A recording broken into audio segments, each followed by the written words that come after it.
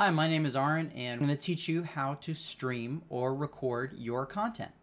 And you'll be able to do this to whichever platform you have in mind, like Twitch, YouTube, or elsewhere. You may be planning on sharing gameplay, or teaching a skill or a course, or just hanging out with people in a live environment, or just talking about a subject and posting that on YouTube or elsewhere. Well, if you're new to this, this is the perfect course for you because I'm going to teach you how to do all of those things in just a few classes.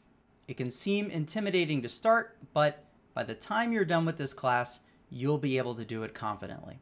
For some background on who I am, I am currently the Director of Broadcast Operations for chess.com. I supervise all of the live streaming of chess commentary for chess.com's various streaming channels. I like to share my skills that I've picked up along the way with others. So here you are. I'm going to share that stuff with you and welcome to the class.